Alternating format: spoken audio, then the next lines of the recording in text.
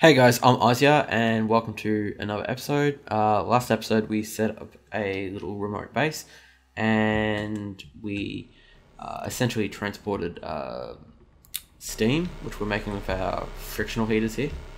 And we're sending it through a tesseract to the base and we're going to use the, uh, the steam itself to essentially remotely transfer um, RotaryCraft power. So if you haven't seen that, uh, I'll link up on the screen if you want to see how to do that.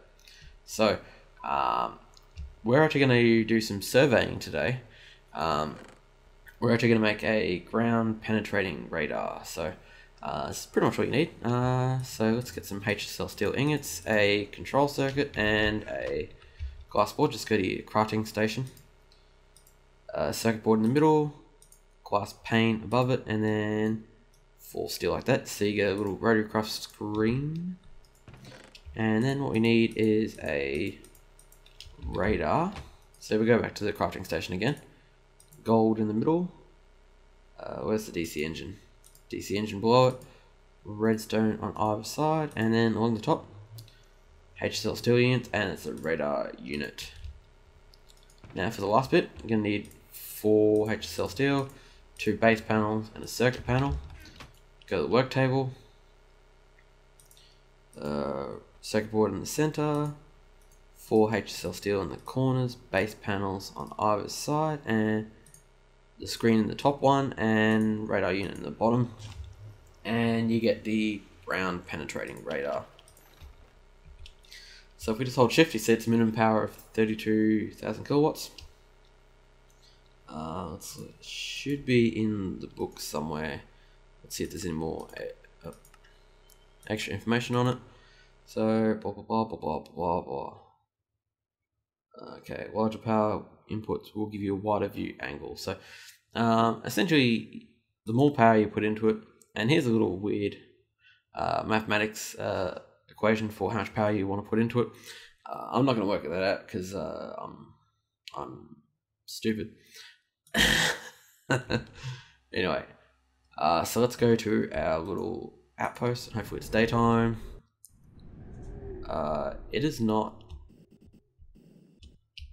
the only problem with living in the end is everything is nighttime, so and you got no idea when the real time is daytime. So quick bedtime. Let's go back down to our little spot, and there's our little favorite spider from last week. There's a skeleton desperately trying to survive. Okie dokie. So we've got the steam coming from our tesseract here, and uh, we were going to move with uh, the steam turbine. So, and I've got some fluiduct pipes. So let's just see. Um, run down there. And I'm going to put the steam turbine on there, so it should start spinning up. And I'm going to chuck the ground penetrating radar next to it. You, uh, accepts power from all sides. So I think this is the way it's facing. And as you can see, we get across here, get a good crush section. So roughly we're here, and I believe that it's looking from this direction to that direction. And as you can see here, uh, I think this is a geostrata material.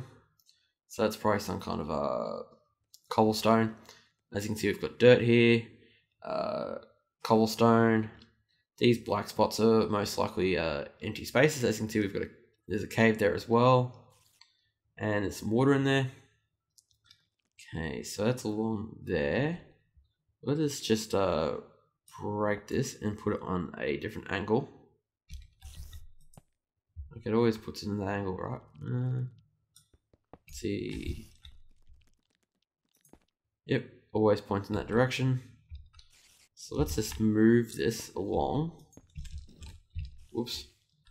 Keep on forgetting I've got a modular power suit on. I can jump big distances. Okay, there. There. And as you can see, it spans out. So as you can see, below us is actually quite a big chasm area. So I'd say there's probably like a, a crevasse down there. No biggie. A little empty space down there. Let's get another move a little bit more.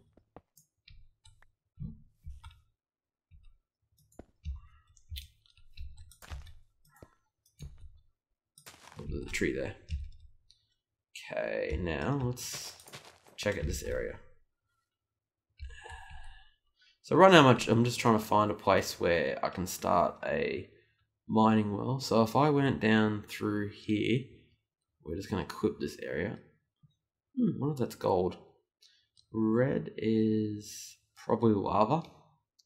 That's right, a little bit of lava there. So if we come down through here, we should be fine. So that's about it for this episode. Uh, what I'll be doing next episode is I'm going to be using the pile driver uh, to dig ourselves down. Um, it's probably not the most conventional way of doing it, but it, it is a way. It's a uh, uh, how do I say it? Um, it's a RotaryCraft way, and you know it's pretty awesome the way it works. So uh, we'll be doing that next episode, and hopefully, uh, the spot that I've picked, which is here, should I mark it? Yeah, I'll mark it. Uh, okay, cobblestone pillar will be our spot.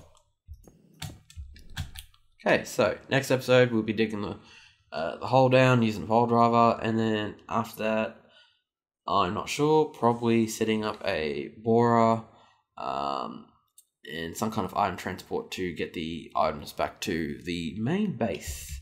So until then, guys.